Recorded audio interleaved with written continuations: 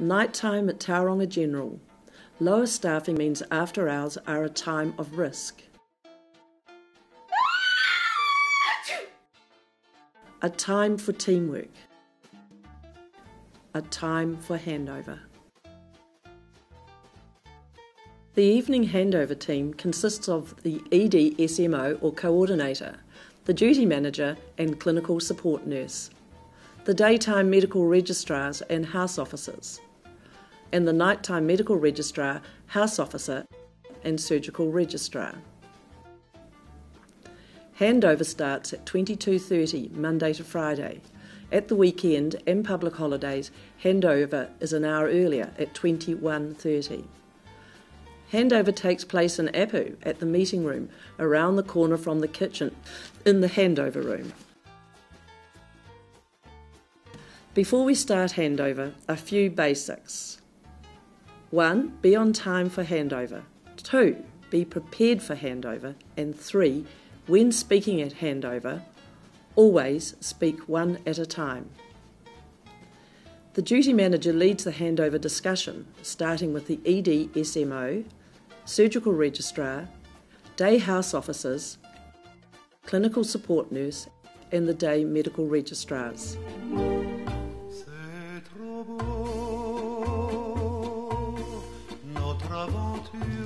When discussing cases with a colleague, the ideal format is the SBARR.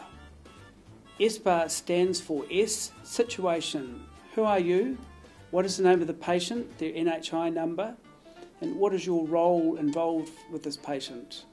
B stands for background. What is the patient's background? What is the date of admission? Uh, the diagnosis that's been made, management to date, a brief summary will suffice. A stands for assessment. What are the patient's symptoms? What are the test results? Uh, what is your diagnosis of the current situation? R stands for recommendation. Based on your assessment, what do you feel needs to be done? And most importantly, what is the priority? How quickly does this need to be done? The last R stands for response, and that is what is the outcome of your discussion? Has the team agreed to do what you've asked them to do? Are you happy with what they've agreed to do, and is the time frame appropriate? Thanks for that, Holly. Okay, Kylie, as day med reg, have you got anything to hand over to the night reg? Connor. I've just got one patient to hand over to you, Connor. Um, her name is Mrs. Williams, and I'll give you the NHI. It's Alpha Charlie Hotel 0000. Uh, she's on Ward 2B, and I saw her as a ward review about half an hour ago. Uh, she's a 34 year old woman, and she was admitted to hospital earlier today with uncontrollable sneezing seizures. Sneezing seizures? It's a real thing. Holly's been calling them sneezures. Her sneezures are complicated by projectile medication, incontinence, and terminal irritation. She was diagnosed with epilepsy about 10 years ago, and normally it's well controlled, but unfortunately, she ran out of her medication about a week ago. Um, Holly called me to see her tonight because of new right groin pain. Her sneeze frequency hasn't improved, and now she's developed an irreducible right femoral hernia. So far, I've charted her a loading dose of phenytoin and I've asked the surgical registrar to come and see her urgently. Um, but unfortunately, she's caught up in theatre. Um, have you heard about the case, Brock? Uh, yeah, I know that patient. Um, the day reg handed it over to me, so um, I'll go see them. Is she fasting?